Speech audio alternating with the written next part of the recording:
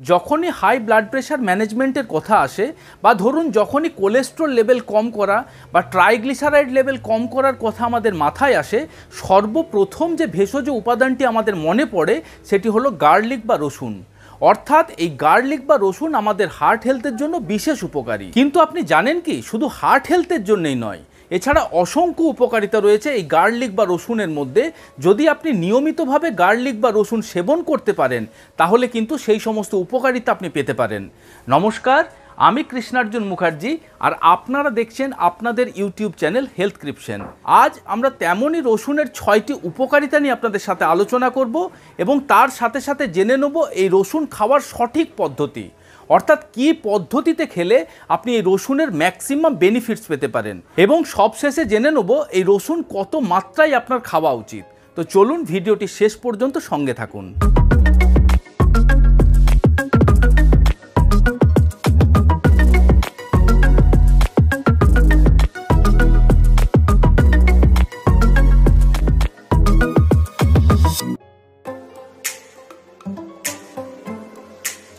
আমরা প্রায় সবাই জানি নিয়মিতভাবে রসুন খেলে আমাদের ব্লাড প্রেশার কন্ট্রোলে থাকে।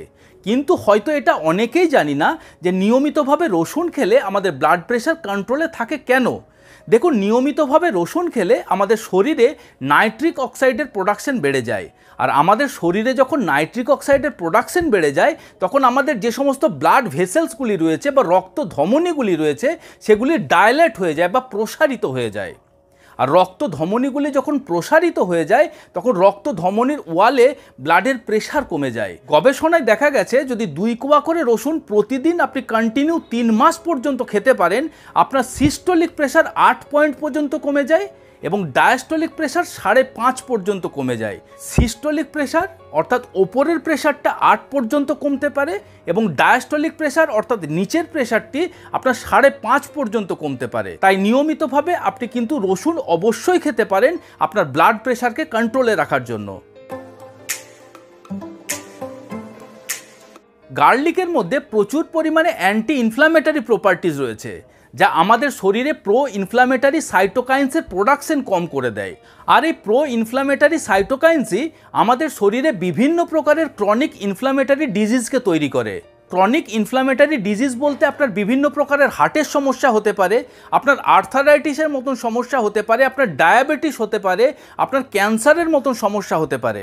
তাই যদি আপনি নিয়মিতভাবে আপনার খাদ্য তালিকাতে রসুন রাখতে পারেন বা যদি আপনি প্রতিদিন দুই কোয়া করে রসুন খেতে পারেন, তাহলে কিন্তু এই সমস্ত ক্রনিক ইনফ্লামেটারি ডিজিজের হাত থেকে কিন্তু আপনি অনেকখানি রেহাই পেতে পারেন। রসুন বা গার্লিকের আরও একটি প্রমিনেন্ট বেনিফিট পাওয়া যায়, সেটি হলো রসুন বা গার্লিক আমাদের রক্তে কোলেস্ট্রলের মাত্রা কম করতে সাহায্য করে। যদি আপনি নিয়মিতভাবে রসুন খান, তাহলে কিন্তু আপনার লিভার কোলেস্ট্রল প্রোডাকশানের মাত্রা ধীরে ধীরে কমিয়ে দেয়। তার ফলে আপনার রক্তে এলডিএল অর্থাৎ ব্যাড কোলেস্ট্রল এবং টোটাল কোলেস্ট্রলের মাত্রা কম হয়ে আসে। কিন্তু একটা বিষয় আপনার মনে রাখা উচিত যে, নিয়মিতভাবে রসুন খেলে লিভার কোলেস্ট্রল প্রোডাকশানের মাত্রা কম করে। কিন্তু যদি আপনি বাইরের থেকে যে সমস্ত কোলেস্ট্রলযুক্ত খাবার খান, তার ফলে যে কোলেস্ট্রল আপনার রক্তে বৃদ্ধি পায়, সেই কোলেস্ট্রলের মাত্রা কিন্তু কম করতে সাহায্য করে না রসুন। এরকম অনেক মানুষ আছেন যারা নিয়মিতভাবে রসুন খান আর এদিকে প্রচুর পরিমাণে কোলেস্ট্রলযুক্ত খাবার খেয়ে যান। তারা ভাবেন, আমরা তো নিয়মিতভাবে রসুন খাচ্ছি, আমরা যতই কোলেস্ট্রলযুক্ত খাবার খাই না কেন, ওই কোলেস্ট্রল আমাদের শরীরে হজম হয়ে যাবে।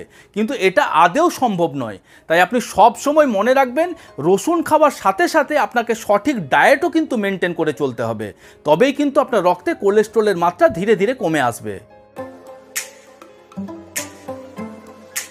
রসুন আমাদের ইমিউনিটি পাওয়ারকে বুস্ট আপ করতে সক্ষম। রসুনের মধ্যে এক ধরনের অর্গানো সালফার কম্পাউন্ড রয়েছে, যা আমাদের শরীরে অ্যান্টিব্যাকটেরিয়াল এবং অ্যান্টিভাইরাল হিসাবে কাজ করে। তার ফলে বিভিন্ন প্রকারের সিজনাল ফ্লু সর্দি, কাশি, জ্বর, এই সমস্ত সমস্যা, বিভিন্ন প্রকারের ব্যাকটেরিয়াল ইনফেকশন যেমন ধরুন আপনার ডিসেন্ট্রি ডায়রিয়া এই সমস্ত সমস্যার থেকেও কিন্তু অনেকখানি দূরে রাখতে পারে যদি আপনি নিয়মিতভাবে রসুন খেতে পারেন। রেগুলারলি রসুন খেলে ধীরে ধীরে আপনার রক্তের গাঢ়ত্ব এবং স্টিকিনেস কমে আসে। আর যখন আপনার রক্তের গাঢ়ত্ব এবং স্টিকিনেস কমে আসে, তখন ব্লাড ক্লটের মতন সমস্যারও আপনাকে সম্মুখীন হতে হয় না। আর যখন ব্লাড ক্লটের মতন সমস্যা না থাকে, তখন আপনার হার্ট অ্যাটাক বা স্ট্রোকের সম্ভাবনাও কিন্তু অনেকটা কমে যায়।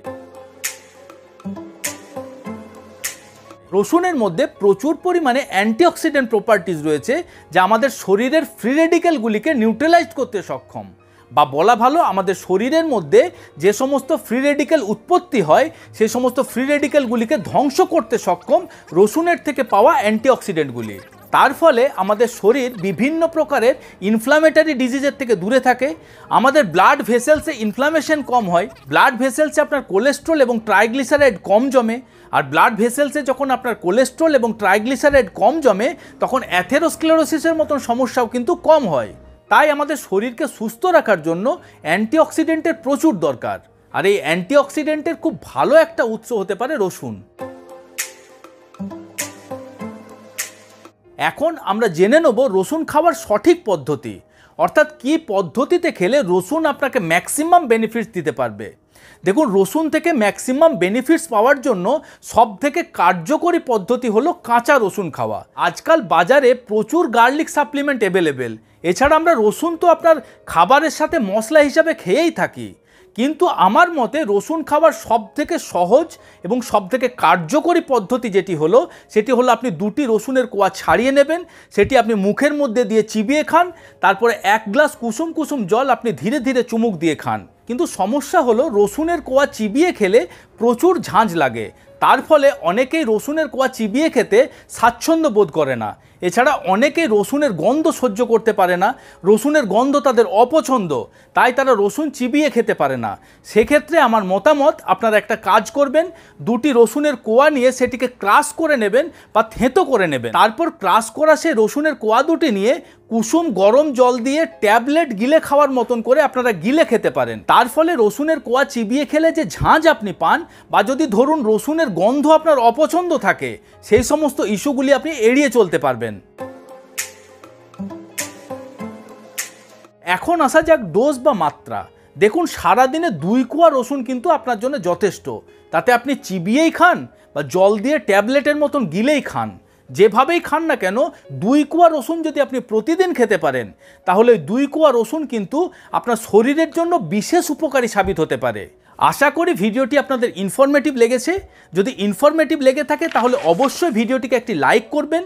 যদি আপনাদের কোনো মতামত বা কোনো প্রশ্ন থাকে এই সম্পর্কীয়, তাহলে আপনারা কমেন্ট বক্সে কমেন্ট করে জানাতে পারেন। আর পরবর্তী ক্ষেত্রে এরকম হেলথ রিলেটেড ভিডিও আরও পেতে আমাদের চ্যানেলটিকে সাবস্ক্রাইব করে রাখতে পারেন। আপনাদের সুস্থতা এবং দীর্ঘায়ু কামনা করি। ধন্যবাদ।